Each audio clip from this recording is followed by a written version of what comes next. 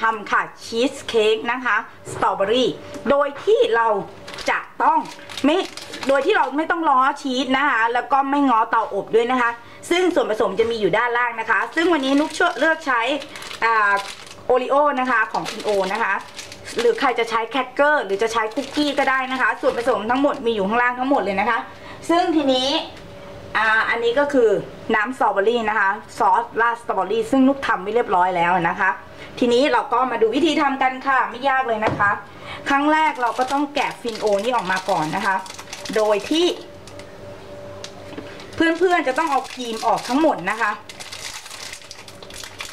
ถ้าเป็นแครกเกอร์ที่มันเค็มๆมันจะง่ายกว่านี้นะ เพราะว่าแครกเกอร์มันจะสามารถที่จะเอาออกได้เลยนะคะ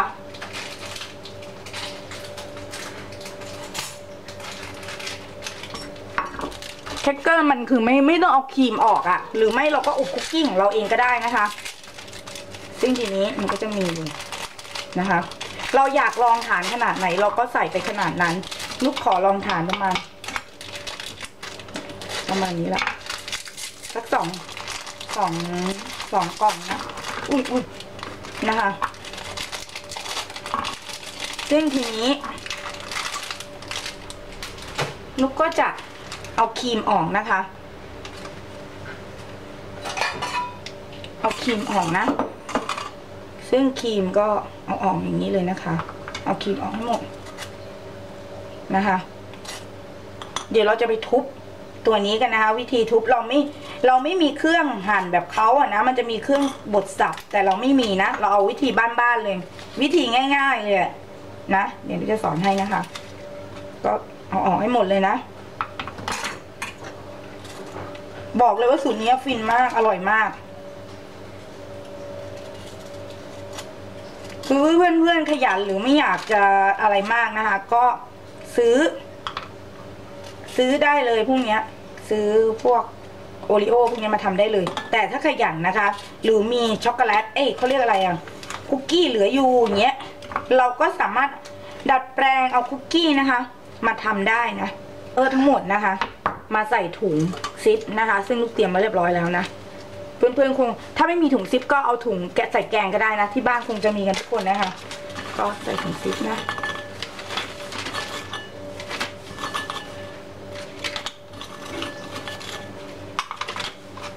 ใส่ถุงซิปนะคะ ปิดถุงซิปให้สนิท และใช้เขาเรียกอะไรนะสากนะคะ ตอนแรกนี่เดี๋ยวหาสากแป๊บนึงนะ มาบดให้มันละเอียด ไล่ลงนิดนึงนะคะ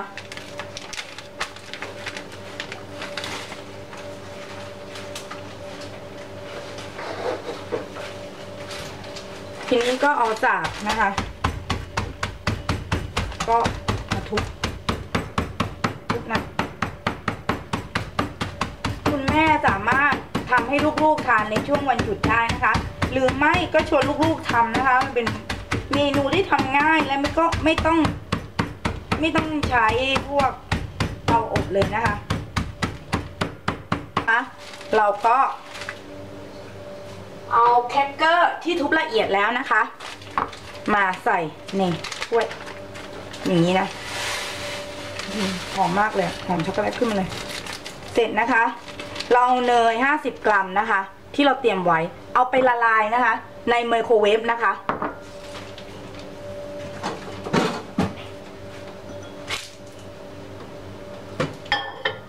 ให้เนยละลายนะจนอุ่นแล้วก็เตรียมนะคะทีนี้เตรียมช้อนนะคะ เดี๋ยวเราจะเอาเนยเนี่ยมาผสมกับตรงนี้นะคะ กับแครกเกอร์ในส่วนนี้นะรอเนยละลายแป๊บนึงค่ะ เสร็จนะคะเราก็ต้องพักเนยให้หายร้อนสักแป๊บหนึ่งนะคะ เดี๋ยวเราจะเอามาผสมกับแครกเกอร์นะคะ โดยเคล็ดลับที่ไม่ให้แครกเกอร์ ตรงนี้ก็เริ่มต้องพูดเยอะอีกแล้วนะ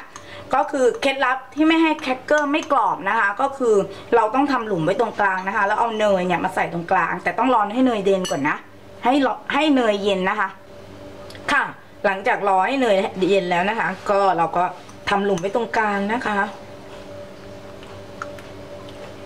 แล้วก็คลุกแครกเกอร์นะคะ กับเนยนะคะ ให้เข้ากัน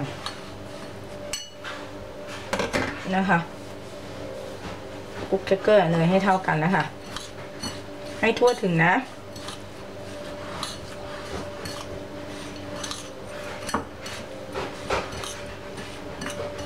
คุกไม่หมดเลยนะคะ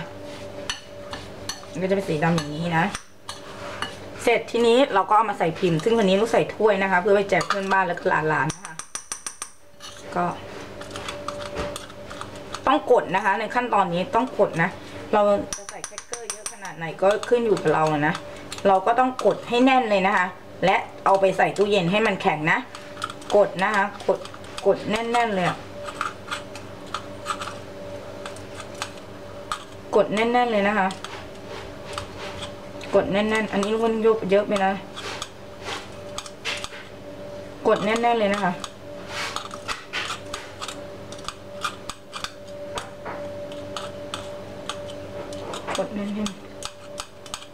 กดให้แน่น ๆ เลยนะคะก็ทำไปเรื่อย ๆ นะ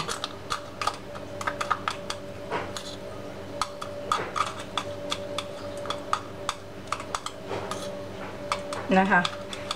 กดให้แน่น ๆ เลยนะคะ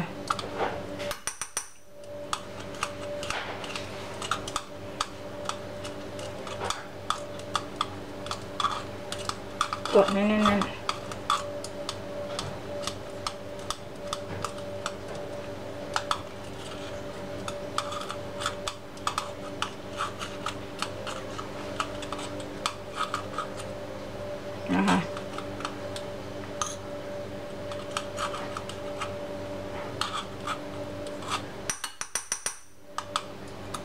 กดให้แน่น ๆทำวนไปนะคะ จนครบนะคะ ค่ะ ก็ได้มาแล้วนะคะ เรากดจนแน่นแล้วนะคะ ทีนี้เราจะเอาไปใส่ตู้เย็นนะคะ ให้มันแข็งนะคะ อาจจะใช้ใส่ในช่องปกติหรือช่องที่แช่พวก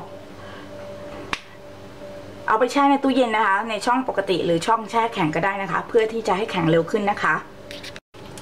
ค่ะ ทีนี้เราก็มาส่วนทำของชีสนะคะ โดยที่ว่าเราไม่ต้องง้อชีสนะคะ แต่ของเราเป็นโยเกิร์ตนะ ก็ใช้นมสดนะคะ หรือถ้าเกิดใครชอบรสชาติหวานๆนุกก็จะชอบรสชาติหวานๆนิดนึงนะคะ นุกก็จะใช้นมข้นหวานนิดนึงนะคะ ก็อยู่ที่นมสดนะคะสามช้อนโต๊ะนะคะนมข้นหวานเอ้ยนมสดสี่นะนมข้นหวานหนึ่งนะคะ ใส่กระทะเลฟเชฟรอนนะคะหรือว่าไม่ก็พวกเอ่อาชนะเชฟรอนเทฟลอน ใส่กระทะในใส่ในกระทะเทฟลอนนะคะ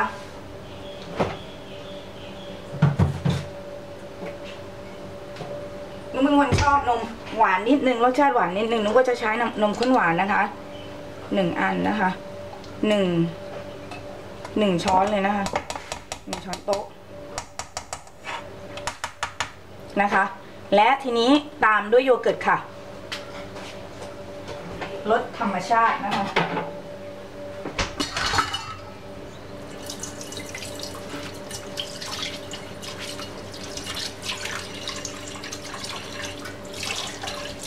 โยเกิร์ตรสธรรมชาติหนึ่งถ้วยนะคะ ถ้วยใหญ่ ๆ เลยนะ ซึ่งนุกใช้ของดัชมิลล์นะคะ อันนี้นะคะ original นะคะ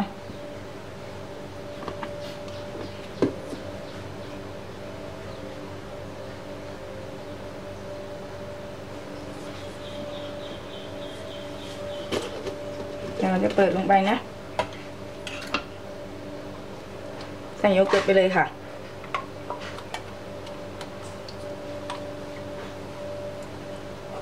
ใช้พายช่วยนะในการดึงออกมานะคะ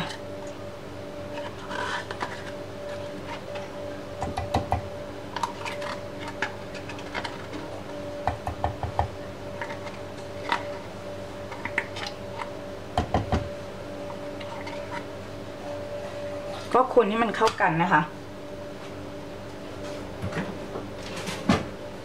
คนให้มันเข้ากันนะ แป้งอเนกประสงค์อีกห้าห้าช้อนโต๊ะนะคะ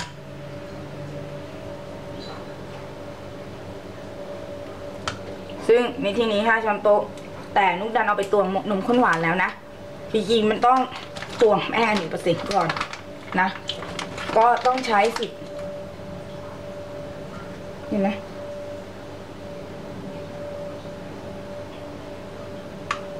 สิบช้อนชานะคะ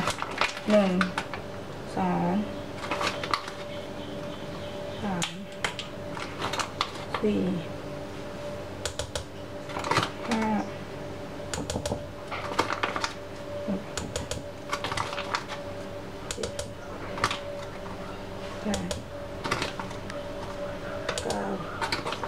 สิบนะคะ เสร็จทีนี้นะคะก็จะตามด้วย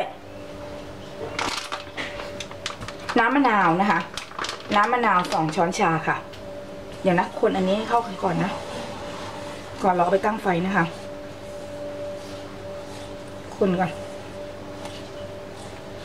มันก็จะเป็นชีสนะคะ โดยที่ว่าไม่ต้องใส่เจลาตินอะไรก็ได้นะคะ ไม่ต้องใส่เจลาตินเลยนะ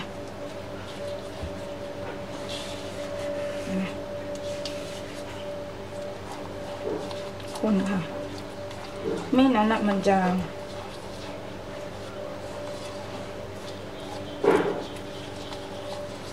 แป้งมันจะเป็นก้อนๆนะคะ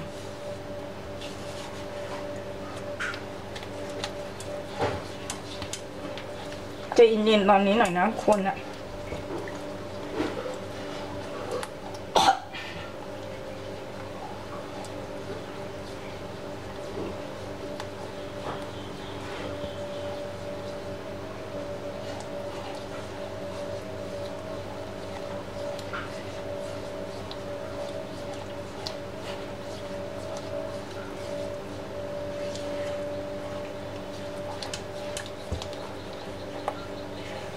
ค่ะ แล้วก็น้ำมะนาวนะค่ะก็ใส่มะนาวไปนะคะสองช้อนชา แล้วแต่ว่าใครชอบหวานชอบเปรี้ยวยังไง แต่นุกจะชอบออกเปรี้ยวๆหน่อยนึงนะคะ แล้วก็สุดท้ายค่ะไข่ค่ะคนลงไปเลยนะคะ เดี๋ยวเราจะไปตั้งไฟนะคะ โดยที่ใช้ไฟต่ำนะคะเดี๋ยวนะคนให้เข้ากันก่อนนะ สูตรนี้ไม่ง้อชีสราคาแพงเลยนะคะ ว่างๆเดี๋ยวหนูจะมาสอนทำชีสนะคะทำชีสใช้เองนะคะ โดยที่ไม่ต้องไปซื้อให้มันเปลืองตังค์นะคะ ซึ่งทำง่ายมากนะคะ นมโรงเรียนลูกนะคะ ก็สามารถเอามาทำได้นะบอกง่ายคือบางคนลูกไม่ทานนมอะไรอย่างเงี้ย แล้วเหลือเยอะ เอามาทำชีสได้เลยนะคะ หรือใครไปเจอนมลดราคาอย่างเงี้ยก็เอามาทำได้นะ เพราะว่าโลตัสอะไรพวกนี้จะชอบลดราคานมนะคะโยกงโยเกิร์ตแต่ว่าจะอยู่ได้ปริมาณไม่กี่วันอะไรอย่างเงี้ยนะคะ พยายามคนอย่าให้นี่เป็นเม็ดเลยนะ อย่าให้แป้งเป็นเม็ดนะคะ ต้องคนให้ละเอียดเลยนะ อันไหนเป็นเม็ดก็บี้บี้มันไว้ไปนะคะ ดูนะคะ โดยตาเปล่านะคะ ว่าไม่เป็นเม็ดแล้ว เราถึงจะเอาไปตั้งไฟนะคะ เอาละค่ะ ทีนี้เราจะเอาไปตั้งไฟกันนะคะ โดยใช้ไฟต่ำนะคะ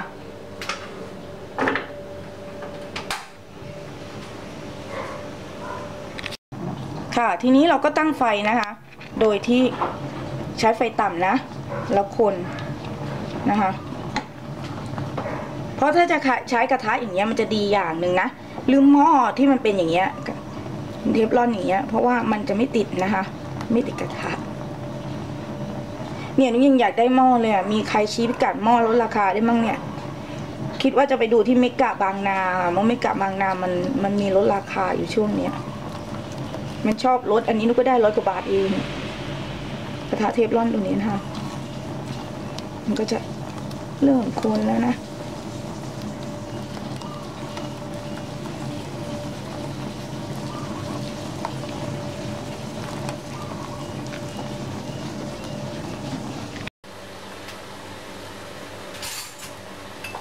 เอาละค่ะ เราก็ พักจนเย็นนะคะ อันนี้เราออกมาจากตู้เย็นแล้วนะคะ อันนี้ก็คือชีสเค้กนะคะ ที่เราไม่ง้อชีสนะทำง่ายๆ เราก็ใส่ลงไปเลยนะคะด้านนี้นะคะ จะใส่หนาขนาดไหนก็ได้นะคะ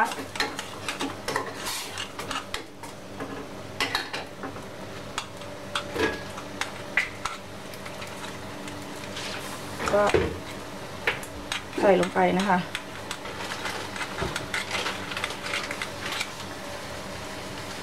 นะคะ ก็ใส่ไปนะคะ ค่ะทีนี้เราก็ราดซอสสตรอเบอรี่นะคะ ซึ่งถ้าเกิดใครชอบบลูเบอร์รี่ก็บลูเบอร์รี่แต่ว่าเผอิญนุกมีสตรอเบอรี่เหลืออยู่นะคะ ก็ราดซอสสตรอเบอรี่ไปนะคะก็ใส่เสร็จแล้วนะคะสำหรับบลูเบอร์รี่ชีสนะคะ เดี๋ยวนุกจะเอาไปแช่ตู้เย็นนะคะ เดี๋ยวเรามาทานกันนะคะพอมันเซ็ตตัวนะคะ มีหลายคนบอกว่าที่ทำไปเนี่ยทานได้บ้างไหมทานได้ทุกอันนะนุกจะทานให้ดูนะคะ เอาเราออกจากหลังจากเราออกมาจากห้องครัวกันแล้วนะคะ เรามาชิมดูนะคะ ชีสเค้กโดยไม่ง้อชีสนะคะ แล้วก็ไม่ง้อเตาอบของเราจะอร่อยขนาดไหนนะคะ โอ้โห อยากจะบอกว่าเนื้อฟินแลนด์มากค่ะ สตรอเบอรี่นะคะ เหมาะสำหรับคนชอบสตรอเบอรี่มากนะคะ อะ สำหรับคลิปนี้ก็จางลาไปเพียงแค่นี้นะคะ เจอกันใหม่คลิปหน้าค่ะ อย่าลืม ถ้าคิดว่าชอบก็กดไลค์ ถ้าคิดว่าเป็นประโยชน์กับเพื่อนๆ ก็กดแชร์ค่ะ แล้วเจอกันใหม่คลิปหน้านะคะ เมนูอร่อยอะไรกำลังรอคุณอยู่ หรือทิปฟาร์มงามอะไร ก็หาได้ที่ช่องเราค่ะ Easy Home ค่ะ ขอบคุณมากค่ะ